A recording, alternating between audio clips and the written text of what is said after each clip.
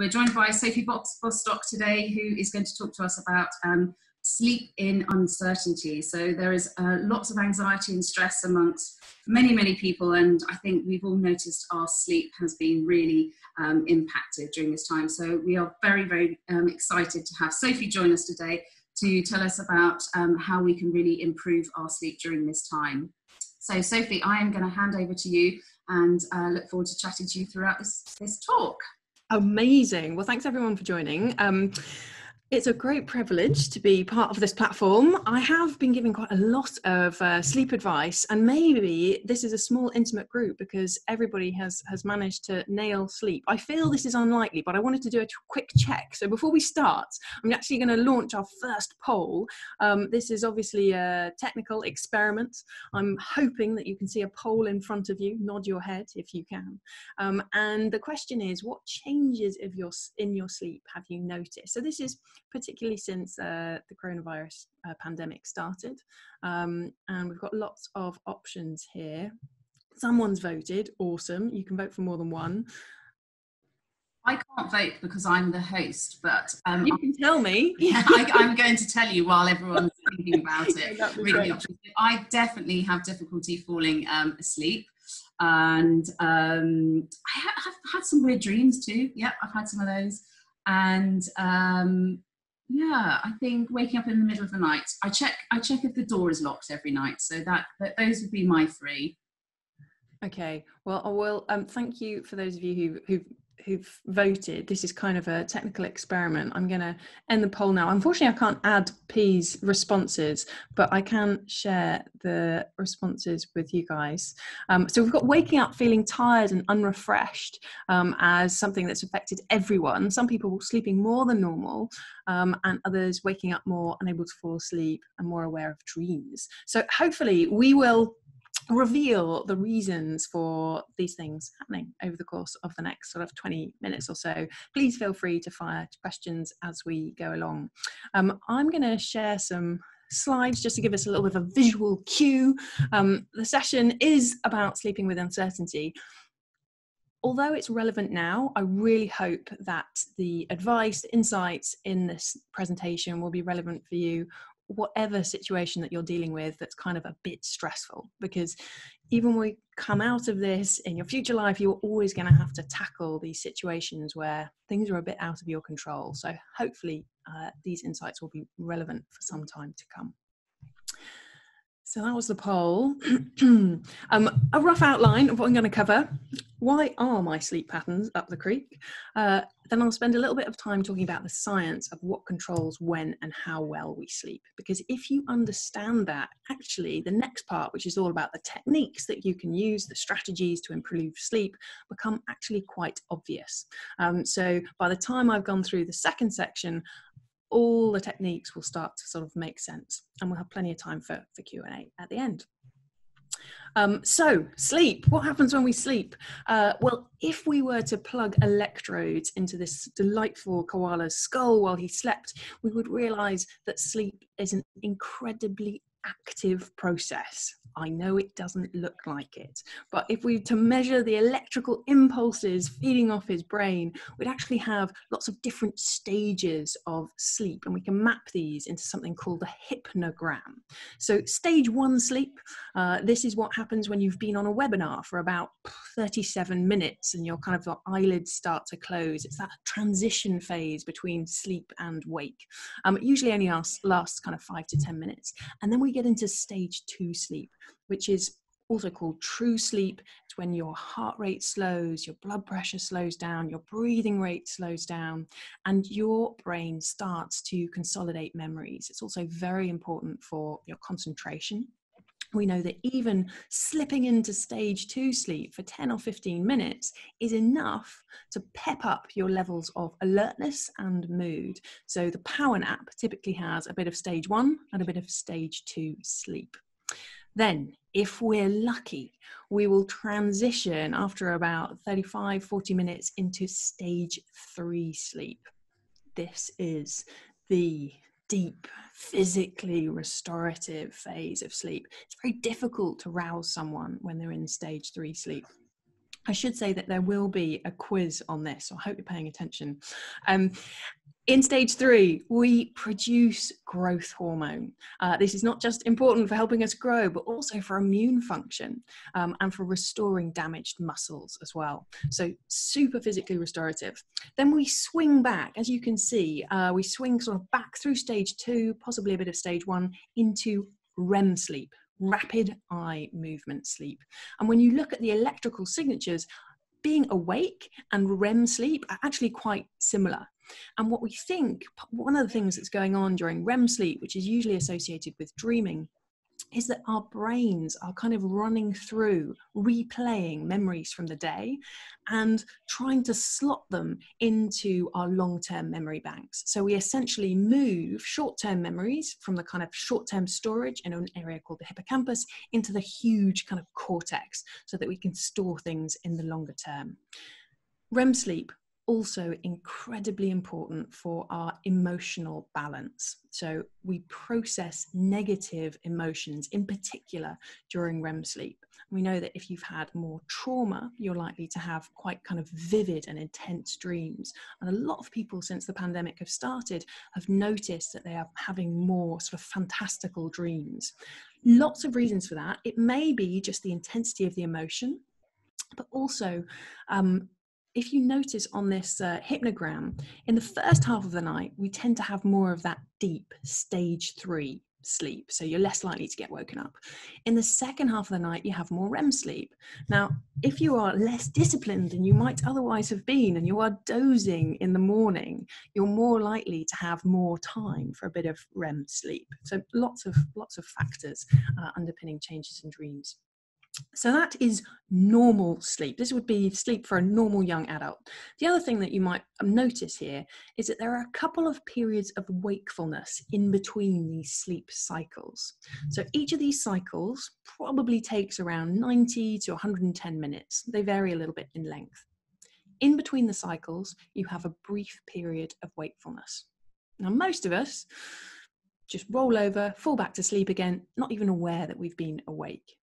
But as soon as you start to worry about sleep and become more conscious about it, these natural periods of wakefulness can be a little bit disturbing. And I think that's something that's that's um, happened to a lot of people recently. So that's normal sleep. But what happens when our koala friend senses danger?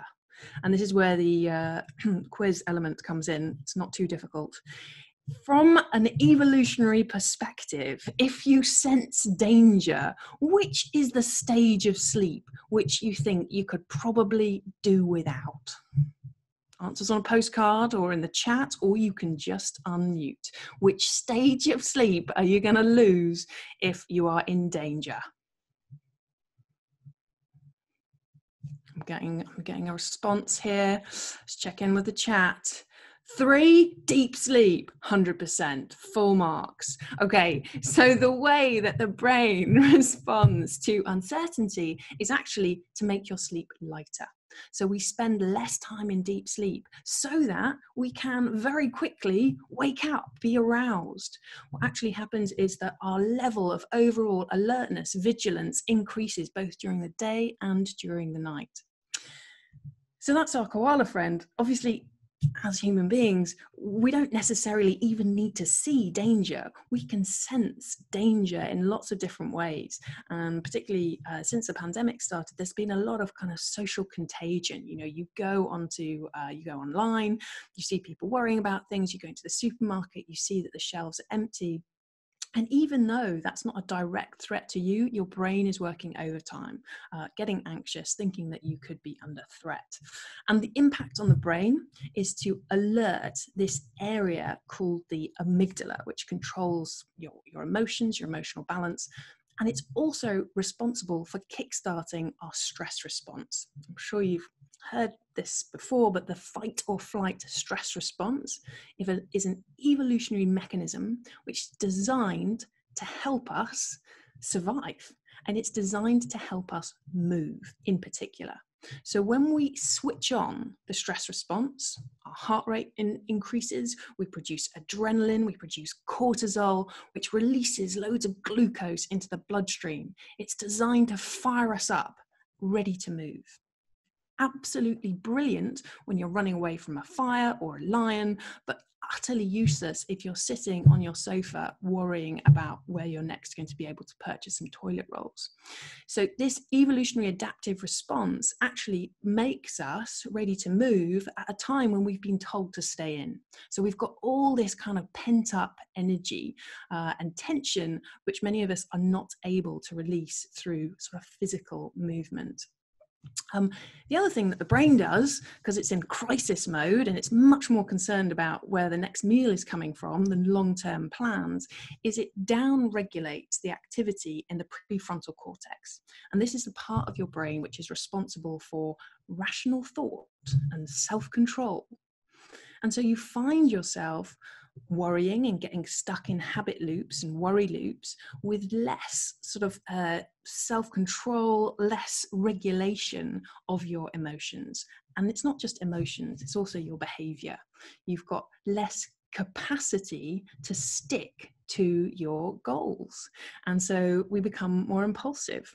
Uh, and so if there do happen to be any high fat, calorie, high fat, calorie snacks around, we're much more likely to succumb to our temptations because our willpower is just a little bit lower and we're feeling like we're a bit more impulsive. Um, I see a few people nodding. Hopefully, this makes sense. But just to drive it home, this can become a bit of a negative cycle. So we start off unable to sleep well, we feel a bit more anxious, impulsive, and then this has knock on impacts on our behavior. And there are lots of different ways that it can affect behavior, but one of them um, perhaps more caffeine because you're tired during the day, so you drink more caffeine, which peps you up, as we'll see. Uh, we'll see why in a minute. Um, but I think more prevalent is probably digital addiction. So this is a particularly unhelpful mechanism uh, for coping with feeling anxious, but perfectly natural. You want reassurance. You want news. The way that your brain decides whether it needs to be anxious about something is to replay past experiences. But we don't none of us have had a past experience of coronavirus so we seek out more information. We want reassurance. So to keep checking your phone is perfectly natural unfortunately because it helps keep you awake at night it actually leads to further increases in tension and arousal. Um, over time, this can lead to lower concentration and productivity and can exacerbate feelings of stress, depression, burnout. And if it goes on for week upon week, month upon month, uh, then you start to believe that you're never going to be able to sleep again. And this is what happens in insomnia when sleep itself actually becomes a source of stress. And often people, even just walking into their own bedroom, can feel quite stressful because they're so used to the frustration of not being able to sleep. And the cycle can go both ways. It might start with poor sleep, it might start with an emotional problem, uh, but the two can kind of feed off each other.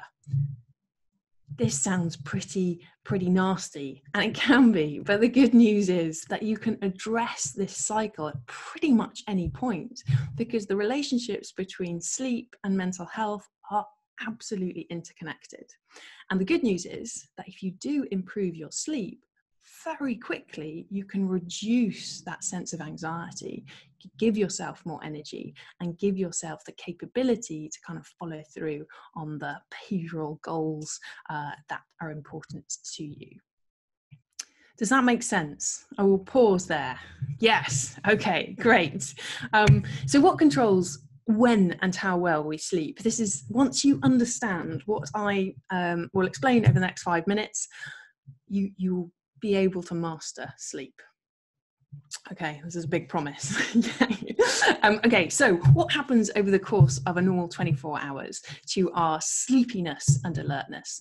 Well, it tends to follow a pattern a little bit like this. So we get more and more alert through the morning, we have a bit of a lull after lunch, nothing to do with having eaten pasta for lunch. This is a natural circadian dip in our energy levels.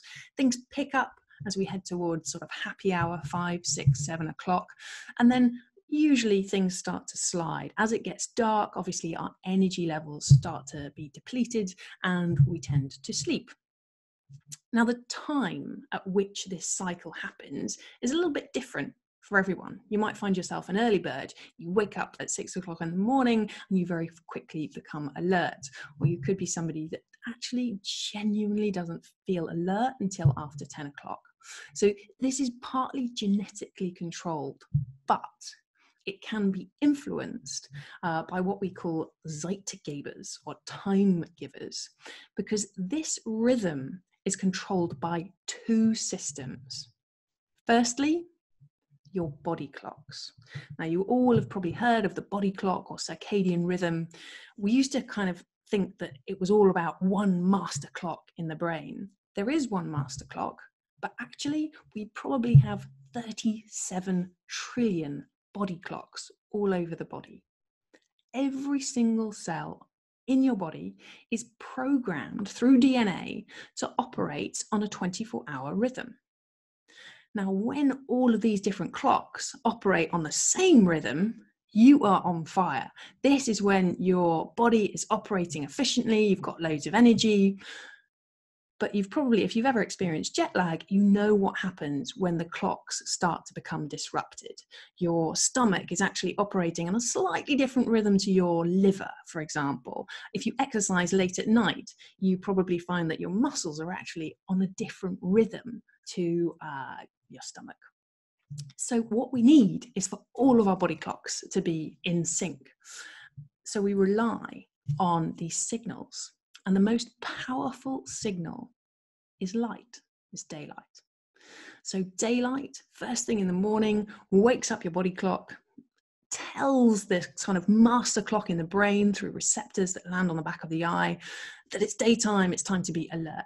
And the same thing happens, or the opposite thing happens as it gets dark as we turn down the lights, the signal to your brain allows the production of a hormone called melatonin, which signals to the rest of the body that it's time to ready for bed. So, melatonin is just a kind of signaling hormone, which is listening to you know what's in your environment. Light is an incredibly powerful regulator of all these body clocks, but there are others. Uh, so, quick question: do you know of any other Zeitgebers? What other things which naturally can be found in your environment which will change your energy levels or things that you can do to shift your body clock?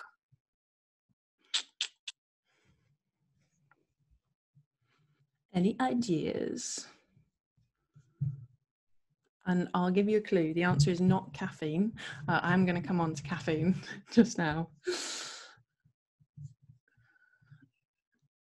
I can't I can't get at the chat, so I don't know if you've responded. Everyone's looking a little bit confused. Yep, we've got some responses coming in. So okay, sorry, smell, temperature, breathing techniques, regular patterns.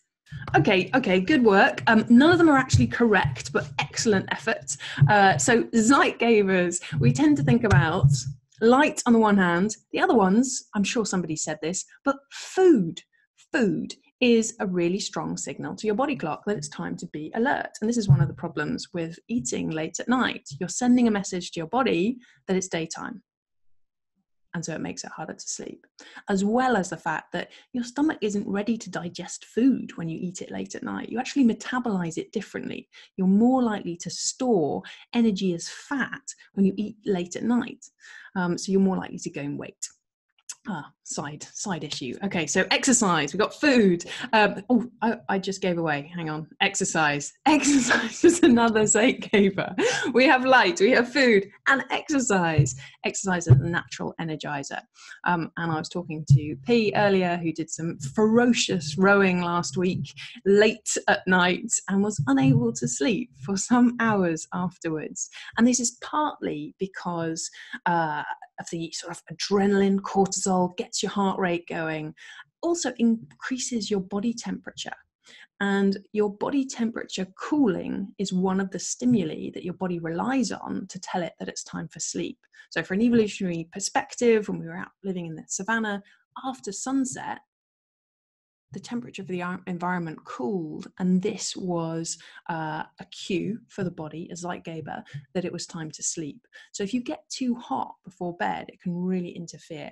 Um, so usually recommend that people keep their bedrooms a bit cooler than normal room, room temperature. Okay, so that's body clocks. Uh, the second system that controls your sleep, bit less complicated. It's just called sleep pressure and it builds up during the day. The longer you have been awake, the more you need to sleep. That's it. And it's like a kind of fail-safe mechanism because no matter what's happening to the light, let's say that you live in an environment where it's light all the time, sleep pressure is your body's protective mechanism that says, well, whatever happens, you're still going to need to sleep. And it's actually the buildup of waste product called adenosine, which builds up in the brain and makes you feel drowsy. But there is a very simple way to block the adenosine with a very popular drug, which Bella is not consuming because she's consuming mint tea. Any ideas? Caffeine. okay. Um, yes. Awesome. Um, so basically, this adenosine, it's it's always building up in your brain, but you can mask its effects by consuming coffee. Um, so caffeine basically just kind of gets in the way of the adenosine receptors and fools the brain into thinking that you're not sleepy, which is fine until the caffeine degrades, and then you just get hit by this wall of adenosine. You feel incredibly drowsy, and so the next thing that you think is, I need another cup of coffee. And it's quite hard not to kind of get into this cycle uh, if you're not quite getting enough sleep.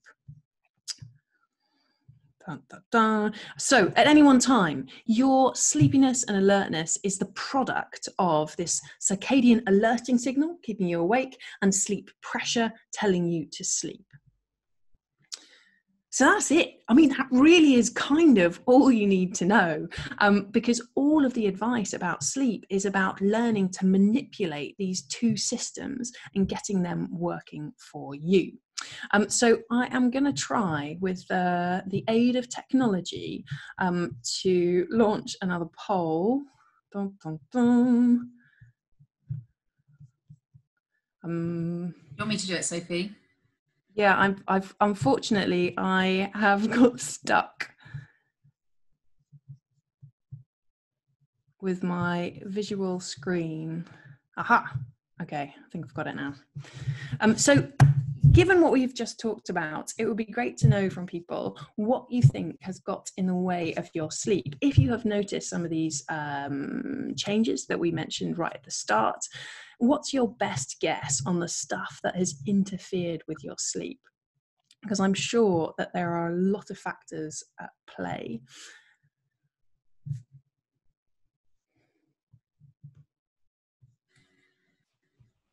Yeah, I think a lot of us experiencing those worries keeping us awake at night.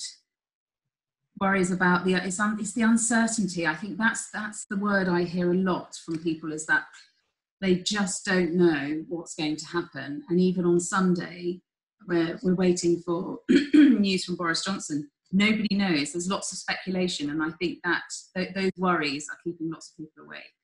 Yeah, and if we go back to that um, image of the brain where we've got kind of this dialed up amygdala in any sort of uncertainty, the brain responds by sort of becoming more sensitive to danger.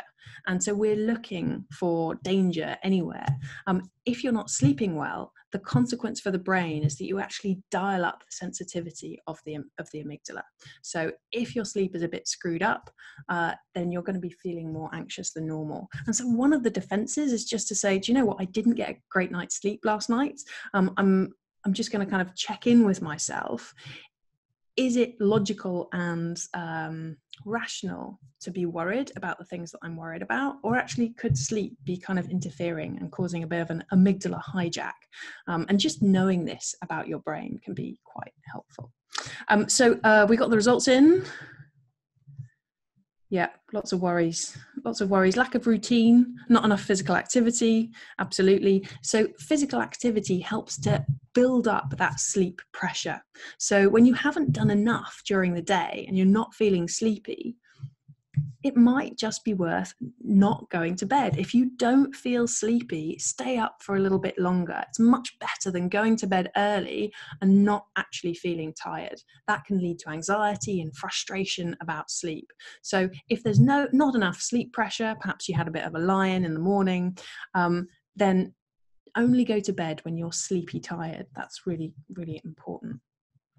Um, okay, so let's just go on. I've got a few kind of uh, tips which I think are helpful at any time. Um, certainly, routine. You will have heard it before, but the reason that routine is so important is because it really helps your body clocks to stay in sync with each other. Um, but that picture kind of disturbed me because the clock is right next to the bed. And if you're someone who wakes up in the middle of the night, you'll know that one of the first things that you do is look at that clock. And very rarely is it actually reassuring you in any way if it's early in the night, then you go, oh, why have I woken up? And if it's late in the night, you go, oh, I'm never, I'm never going to get enough sleep to feel refreshed in the morning. Just let it go. If the alarm hasn't gone off, then you can just go back to sleep. It doesn't matter what time it is. Uh, and if you're an anxious sleeper, you will resist that. But honestly, try it. Try it for a week and see whether it makes a difference. Um, second thing, uh, work by window. Amazingly, um, because of our sensitivity to natural daylight, if you are next to a window all day, research suggests that you actually sleep for 40 minutes longer than someone who is working in an office, for example, that doesn't have exposure to natural light.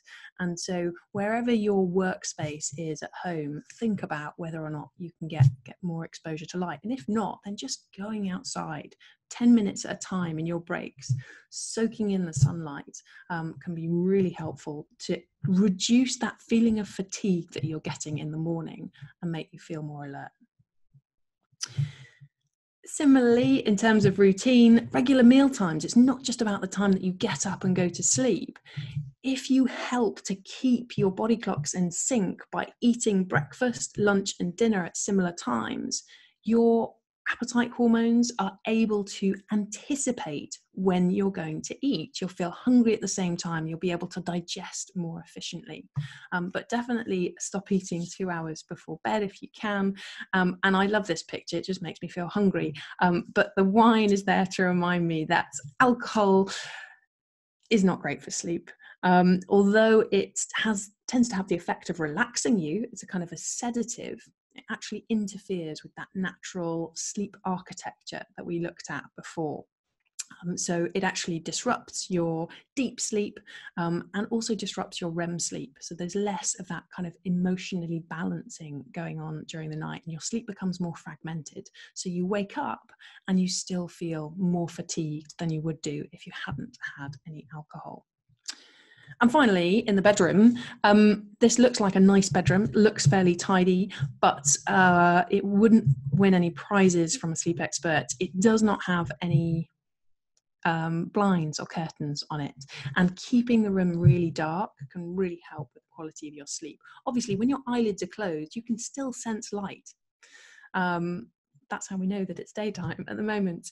Uh, you are more, much more sensitive to light than you might have thought. And the more daylight you've got, you've had exposure to during the day, actually, the less sensitive you'll be to um, light at night. So we know that people who get plenty of daytime exposure to light, they're less likely to have their sleep disrupted by phones before bed, for example. But if you've been inside all day, your body clocks are very confused, they're very sensitive to that evening light. Um, final thing, and then we'll definitely uh, open it up for questions. Um, so, this final lot of uh, recommendations are really about how to get your mindset into the right frame of mind for sleep. I know that worries are keeping a lot of people awake at night. if you're a parent, you will know that having a good bedtime routine can be really valuable for your kids. You can't just take a running toddler and put them into bed and tell them to sleep. It doesn't work. So, what do you do? You kind of coax them through it. You have a series of rituals, uh, whether it's having a bath and a story and brushing their teeth to ready them for bed and adults can be can benefit in exactly the same way we need a transition from the 110 miles an hour of the day to actually readying the mind and the body for sleep so, protecting that time, I often encourage very busy people to set an alarm on their phone an hour before they actually want to sleep. And that is to remind them to switch everything off, to switch their phones off, TVs off, and actually just, you know, get ready for bed. Maybe have a hot bath, uh, do some relaxation, reading a book just for six minutes can be enough to relax your muscles and calm down the mind. It doesn't need to be for a very long time. I'm happy to talk more about relaxation techniques uh, if anyone's interested. Um, but particularly valuable exercise, if it's thoughts that are keeping you awake, is actually to make time to deal with those thoughts during the day. So schedule a time in your calendar, maybe just for 15 minutes, say at 4 p.m., that you can call literally coin worry time in your calendar. And all you need to do is write down all the things that you're worried about I mean, literally delight in them. List right, list a whole long list, and some of them might be crazy things. Uh, some of them might be small things. Some of them might be big things. But get them out. The more that you can write them down, take them from this kind of ruminating place in your mind onto the page, the better.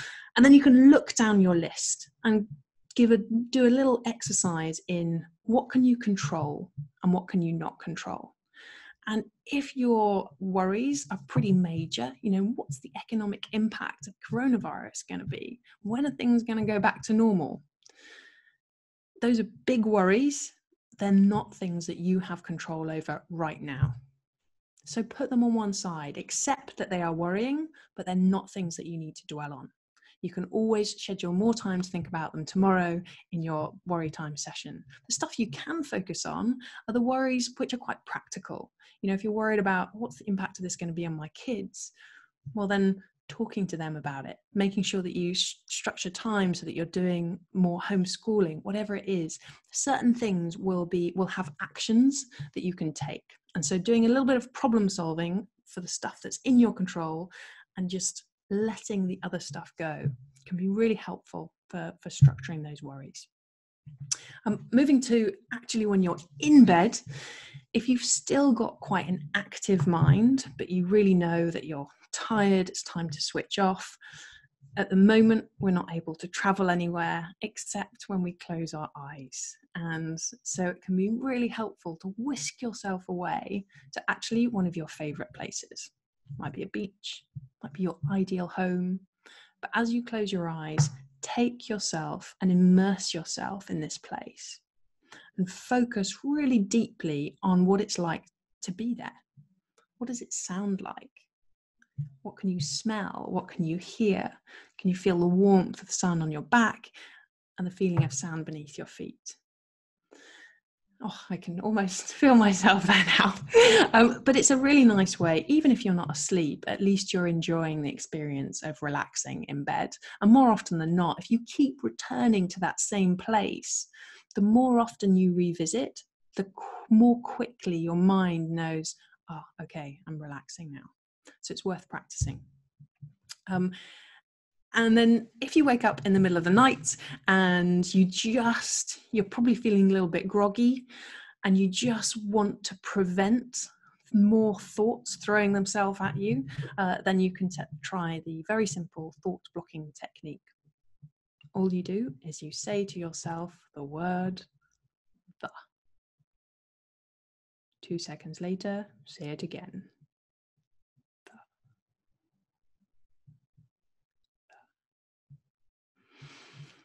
And because the is so boring it's literally the most boring word in the english language um, it doesn't usually have any emotional connotations for people. It can be a really helpful, just temporary blocker to just keep other thoughts away. It doesn't usually work uh, before you go to sleep, I found, because your kind of mind is more active. But if you're kind of semi awake, semi asleep, it can be just enough to get you back to sleep. The final thing I'd say before we just uh, open it up to questions, um, I've mentioned this already, but the most important thing is not to worry too much about sleep. The more you worry about it, the harder it is to find. Sleep is a natural process. If your body and your mind need to sleep, and you're calm and you're comfortable in bed, then sleep will come. And if it's not coming, stop trying.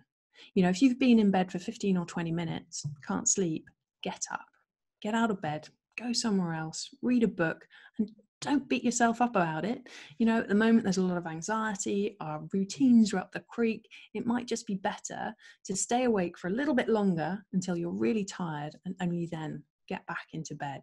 You want to preserve this relationship between you, your bed, and a kind of restful sleep. So keep frustration out of the bedroom if you can.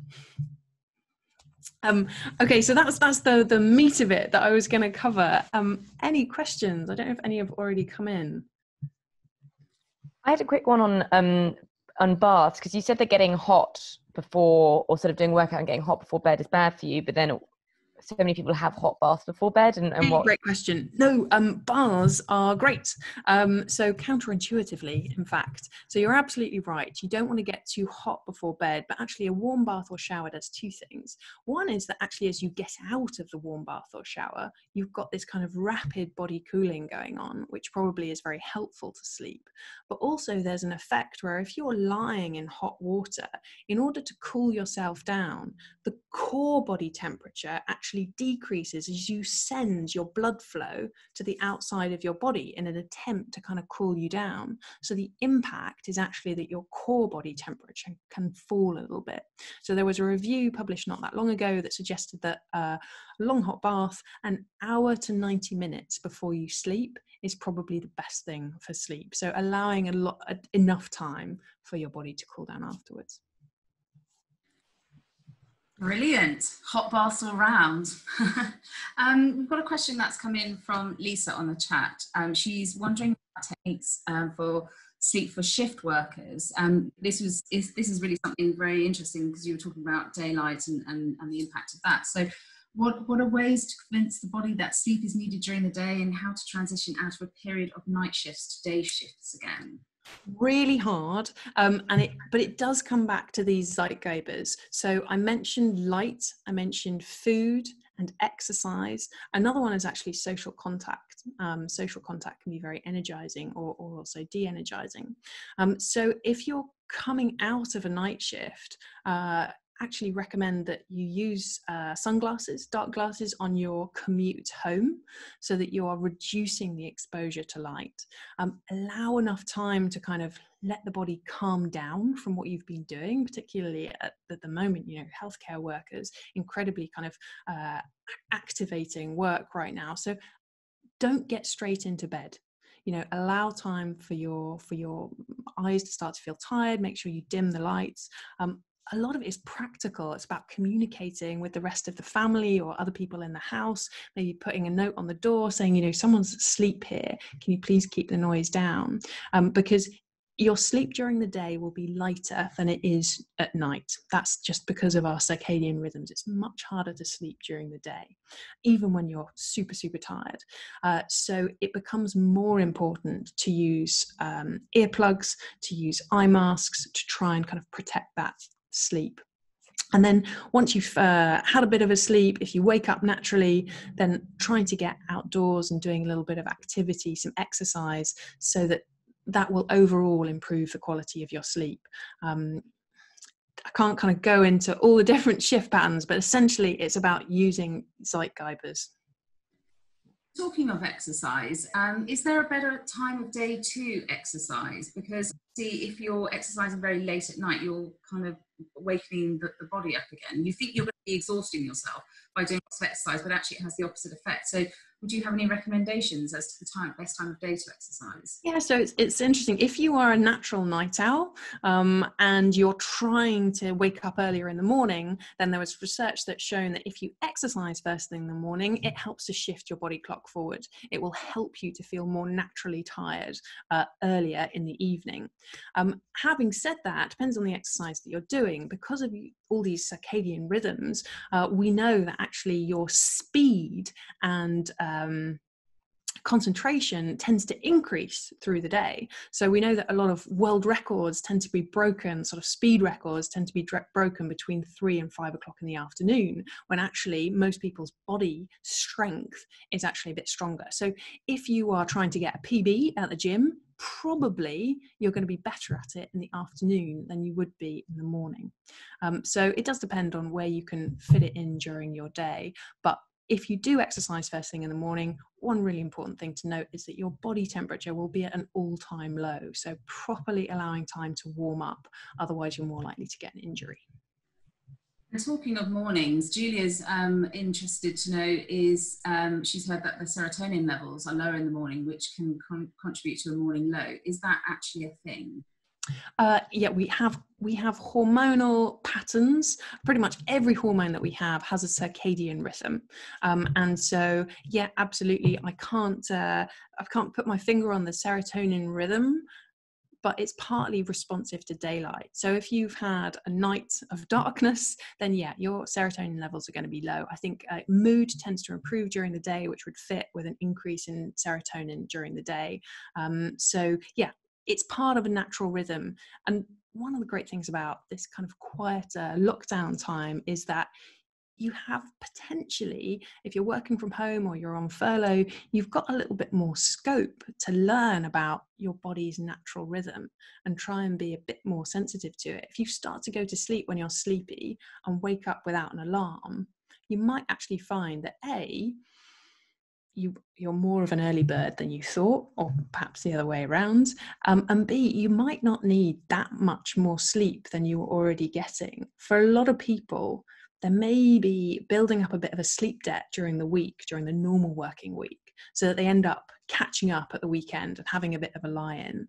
But if you work out what your sleep window is now then when you do go back to work and regular routines hopefully you can protect that amount of sleep going forward is there an optimum number of hours for sleeping at, at night? You, you talked about sleep debt there and, and the hope that people think, well, I'll just catch up at the weekend, but it doesn't necessarily work like that. So, what, what is the kind of optimum number of hours? So, lots of research suggesting that uh, for adults, between seven and nine hours is recommended. Certainly, really interesting studies that have looked at immune function, uh, suggesting that at least seven hours seems to be protective. So, one study, for example, that um, looked at the common cold virus, and they took a bunch of volunteers and they put them up in a hotel and gave them free food, and they were utterly delighted until they inoculated them all with the common cold virus.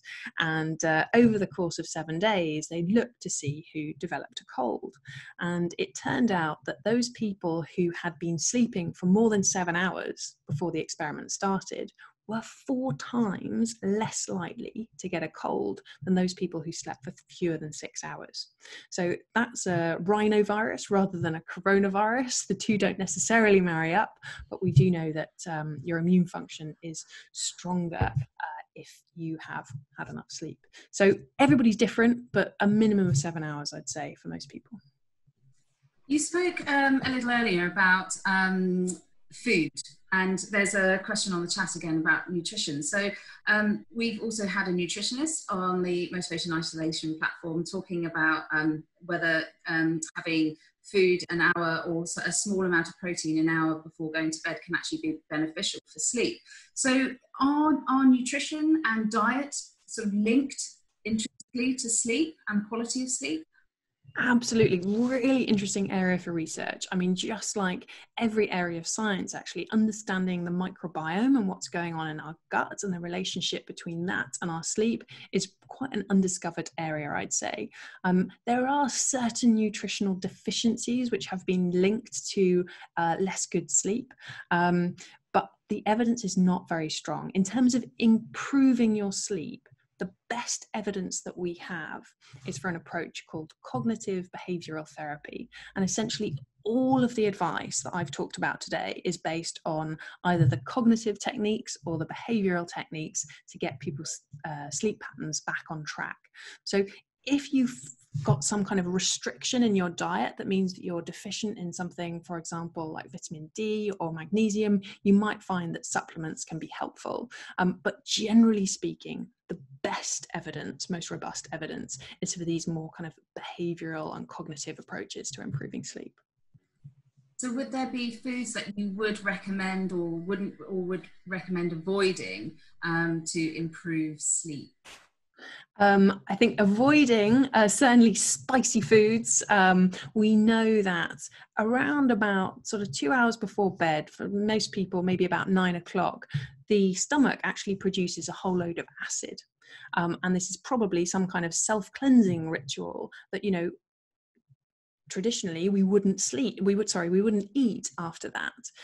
But it means that if you do eat late at night, and particularly if you eat very acidic or spicy foods that can interact with that acid, you're much more likely to get reflux, which can really interfere with your sleep. So, in general, just not eating too much uh, before you go to bed is the best approach.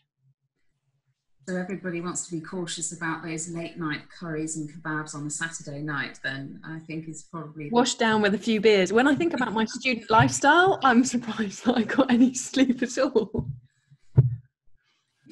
I can absolutely, I can absolutely uh, agree with that. Um, Sophie, this has been so so interesting for everybody. I'm conscious of time and, and that everybody may now need to get on to um, their, their next things in their day. Um, I, it's great that you've shared your contact details there, so um, thank you for those. For anybody who does want to know um, a little bit more about sleep or wants to go uh, wants to go a bit deeper, then I know Sophie is very, very happy to um, to hear from you. So please do get in, in touch with her there, and you can follow her. She's very active on LinkedIn, particularly. Um, she obviously got her own website, and then on some social media, there's um, various tips and things that um, Sophie often shares about sleep. So um, thank you very, very much, Sophie, for, for joining us. And thank you, everybody, for coming along. As I mentioned, we are going to be sharing um, this with you from um, uh, uh, for in a couple of days' time. We have recorded it, so you'll be able to, to watch it back and do share it with any friends and family and colleagues that you also think may also be um, struggling with sleep um, as well. So do have a look back on the um, Eventbrite page for more events coming up from um, on the Motivation and Isolation platform. We've got lots coming up um, over the next couple of weeks. Um, and whatever happens with lockdown, I think we'll, we'll still keep going with this series and do watch back um, some of the other events that have also taken place. There is a, a big variety of different things there. So depending on where you are in your um, in your journey, there are there's lots and lots of support out there in terms of managing anxiety, stress. There's nutritional advice. There's um, co- uh, personal coaches who can help you with um, setting daily powerful habits and all of those kind of things as well. So please, please do um, have a look and, and make use of um, all of the resources there that we have put together for you. So thank you again for joining us and thank you again to Sophie. Thanks everyone. Sleep well.